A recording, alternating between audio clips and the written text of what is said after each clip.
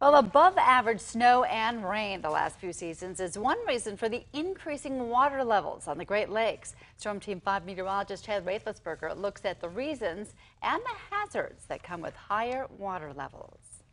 Since its low point in 2013, water levels in Lake Michigan have been on a steady increase over the last several years. This is increasing the potential for lakeshore flooding and erosion along Lake Michigan and the Bay of Green Bay. So the water levels are high right now, and um, the first thing to understand about the Great Lakes water levels is that they undergo cycles. They're natural variations. Sometimes they're high, sometimes they're low, and these are, you know, over several years, you'll go from a high to a low level, and that's if you look at the long history, which we've got uh, many, many decades of records of water levels, you can see that very clearly in the record.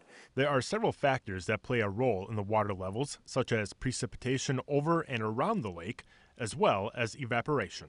The drainage basins are extremely large for the Great Lakes, as you might imagine, so it doesn't have to be raining right over the lake for you to have runoff go into the lake eventually and raise the water levels. The precipitation drives about 90% of the variation of the water levels, so just if, it's, if we get more snow in the wintertime, if we get more rain in the summertime, uh, you're generally going to see lake levels rise. The last record high set in the Lake Michigan Huron system was in the mid 1980s when water levels reached 582.35 feet.